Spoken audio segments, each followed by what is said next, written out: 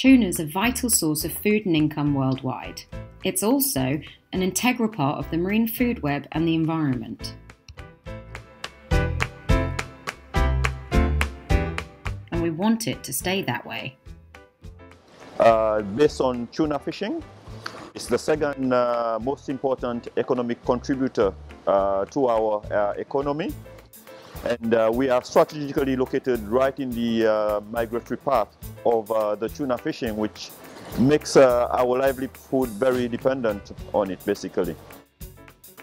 But if the current high exploitation of tuna stocks continues, both the ocean environment and those people throughout the world who depend on tuna for their income and their food will be severely compromised. Through the Smart Fishing Initiative, WWF collaborates with a range of important partners, bringing them together to work on solutions for maintaining healthy tuna fisheries. At regional level, I know WWF is playing a very great role and trying to bring in countries together to be able to chart way forwards. And one of it is the high seas.